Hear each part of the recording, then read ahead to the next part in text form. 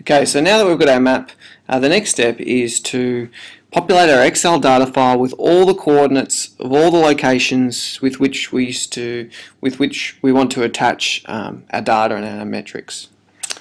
Um, to do this is pretty easy. It's just a matter of annotating these locations on the map. Um, I'm going to show you now how I annotate seat A1. I'm just going to zoom in here on seat A1 so I get um, quite a detailed view. I'm going to right click on the exact location where I want to plot data and I'm going to annotate this point. Click on point and by default Tableau is going to report uh, for me what these XY coordinates are so I'm just going to click OK and then Tableau's popped up a little box here that tells me that seat A1 is 29 units in the X coordinate system and y in and 321 in the y. And it's just a matter of me adding this data into my Excel sheet. Uh, 29, 21. Like so. Now, of course, you're going to have to repeat this process um, for each uh, location with which you want to plot data.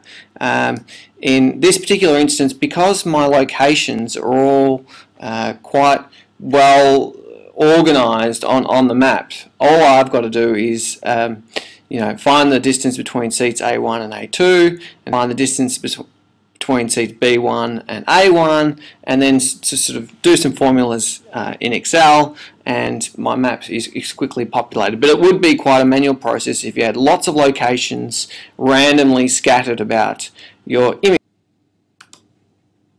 The final step is just to be able to link um, your seat locations on this XY coordinate system with your actual data that you want to present.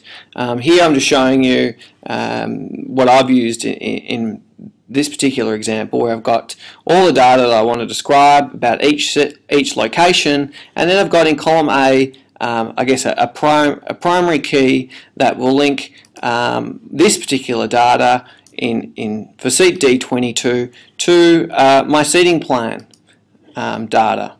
And in Tableau, that, that's pretty easy. You can, you can do that uh, in a number of ways. And that's it.